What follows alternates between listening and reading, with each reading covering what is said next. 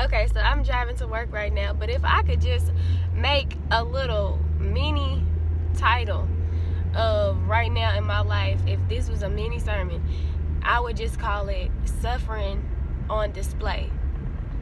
And right now, um, my Bible Bowl group, um, no, no, no, my, my, my, my Bible Bowl, my pageant group is doing the topic mask off and so god has just been allowing that theme to pervade my life right now like so suffering on display. Like right now i'm teaching seventh grade history and i'm definitely suffering on display.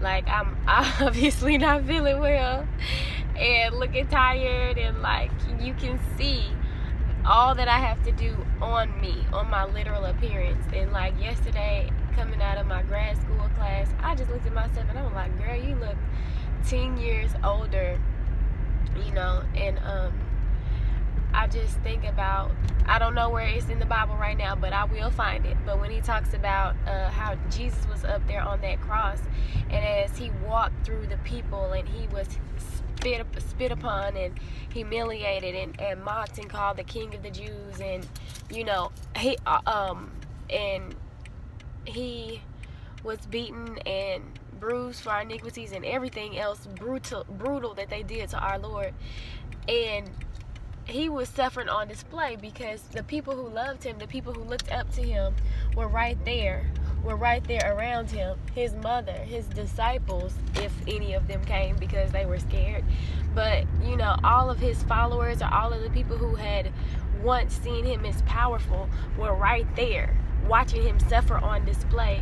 So imagine how how humiliating he must have felt how um you know different from his uh, normal image he must have felt how far from his identity he must have felt. To be the son of God, then you the top person. You the top person in everything. Like you're completely perfect. So you're the top, you're the best, you're the winner, you're everything. You're at the top.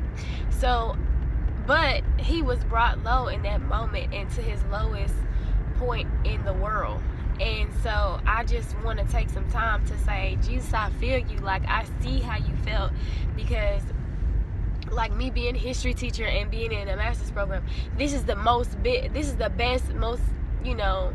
Uh, this is the fulfillment of what I wanted for my career, and yet it's so hard. like, so it's like Christ. He knew he had to get on the cross and die so that he could return to the Father, and so that he could get the keys of life and of death. But at the same time, he still had to do he still had to go through the cross and the suffering and the pain. And so i just want to encourage somebody like if you're in that place where you're suffering on display just hold on hold on with me because we gonna do this. And and look for god in the moments when you are in, under pressure and look for him in the moments where you are overwhelmed because he is going to even be in those moments like guiding your mind allowing you not to be so stressed out that you're making tiny mistakes you know allowing you not to panic and and just forget that oh I can click right here and this will help me.